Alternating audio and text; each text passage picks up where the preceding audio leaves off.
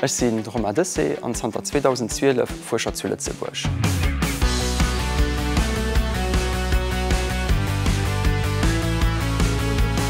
Zter dem Lise ginn am enger Freizeit gre Klammen, fir wat Klammen, ma echtens well ma gute kiberlechen Ausgleich zum ständesche Sitzen am Büro an der Schul gëtt. Om pluss kann ich et relativ spontan an mein Alldach abbannen, weil als Forscher muss en Dach ziemlich oft flexibel sinn.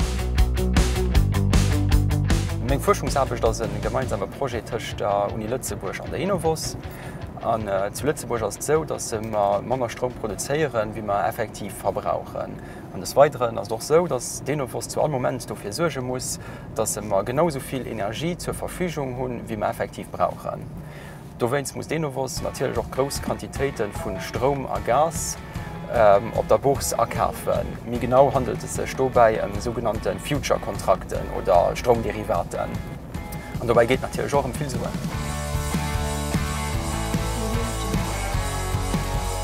Du wennst as et fir Dinner was wichtech genau ze berechnen, wieviel en duchen Handel mat Stromer Gas verleiere kind, also quasi an Zukunft zu gucken.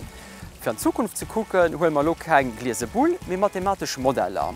Dofir vergleichen an entwicklennech verschieden Methoden, die degem erlaubben ze berechnen, wie sech Preiser verhale kindten, als ob ze klammen oder fallen. Sprch de sogenannte Preisrisiko. Ma war das so dat besonnecht um menge Modeller. Ma oft as et so, dat e sech die Produien, die den wass handelt, eenzel okuckt. Fi wat eenzel, ma weil dat mir einfach ze berechnen ass.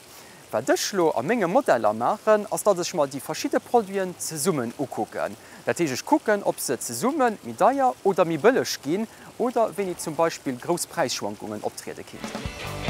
Audio Jump.